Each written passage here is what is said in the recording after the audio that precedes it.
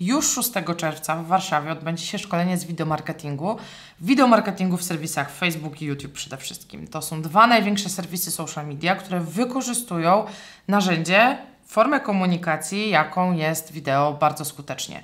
I teraz Wy, jako marketerzy, możecie nauczyć się wykorzystywać tę formę w swojej komunikacji, w swojej strategii komunikacji marki, a w tym pomogę Wam ja podczas szkolenia. Podczas szkolenia dowiecie się, jak tworzyć angażujące treści, jak optymalizować treści i kanały na YouTubie i jak tworzyć treści, które angażują i budują społeczność. Więc mam nadzieję, że widzimy się 6 czerwca i do zobaczenia.